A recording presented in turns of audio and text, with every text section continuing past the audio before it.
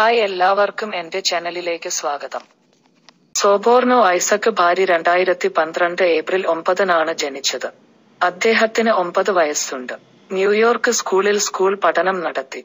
സോബോർണോയുടെ പിതാവിന്റെ പേര് റാഷിദുൽ ഭാരി അദ്ദേഹം ഒരു ഗണിതശാസ്ത്രജ്ഞൻ കൂടിയാണ്. അമ്മയുടെ പേര് ഷഹേദ് ഭാരി ദി ലവ് എന്ന പേരിൽ അദ്ദേഹം ഒരു പുസ്തകം എഴുതിയിട്ടുണ്ട്. ആഗോളതലത്തിൽ ഏറ്റവും പ്രായം കുറഞ്ഞ പ്രൊഫസറാണ് ഐസക് ബാരി. നമ്മുടെ കാലത്തെ ഐൻസ്റ്റൈൻ എന്നാണ് ആളുകൾ അദ്ദേഹത്തെ അറിയുന്നത്. എട്ട് വയസ്സുള്ള പ്രൊഫസറാണ് അദ്ദേഹം. Bengali American prodigy. അവൻ എങ്ങനെ സ്വപൂർണോ ഐസക് ഭാര്യയാകും വെറും ആറ് മാസം പ്രായമുള്ളപ്പോൾ ഭാര്യ സംസാരിക്കാൻ തുടങ്ങി. രണ്ട് വയസ്സുള്ളപ്പോൾ കണക്ക് ഭൗതികശാസ്ത്രം രസതന്ത്ര പ്രശ്നങ്ങൾ എന്നിവ പരിഹരിക്കാൻ അദ്ദേഹത്തിന് കഴിഞ്ഞു. വോയിസ് ഓഫ് അമേരിക്കയിൽ അഭിമുഖം നടത്തി.